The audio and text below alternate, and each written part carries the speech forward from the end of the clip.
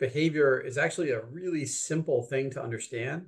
The vast majority of behavior um, is driven by reinforcers. So that means if you like a behavior or it's a good behavior, you should um, reinforce that behavior, do things that make it more exciting and more fun, like attention and rewards.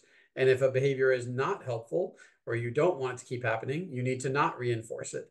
Um, and that's pretty much it. You know, that's called operant conditioning.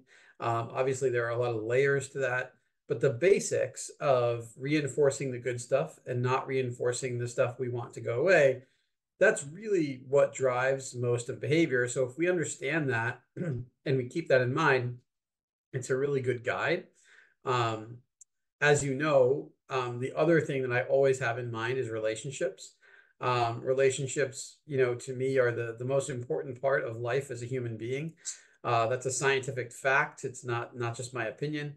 You know, if you look at happiness studies, if you look at attachment studies, or you look at longevity studies, um, we are social beings, and if we can't uh, have healthy relationships, you know, what's the point of of, of being here? So um, that's another thing that weighs heavily on on my work. Um, and then you know the brain is is obviously a really complicated uh, organ. It's the most complex kind of thing that we know of in, in the world.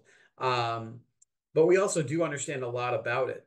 Um, so again, if we can combine understanding behavior, understanding relationships, understanding the brain, we can have a really good um, roadmap as to how to help kids be strong and healthy and resilient uh, and kind. And that's, you know, I think what it's all about, right? Uh, I'm not here to suggest that behavior is going to be perfect. Um, that's not true for any any human being or you know other being, um, but it certainly helps if we can keep those those really basic ideas that that drive you know human existence in in mind.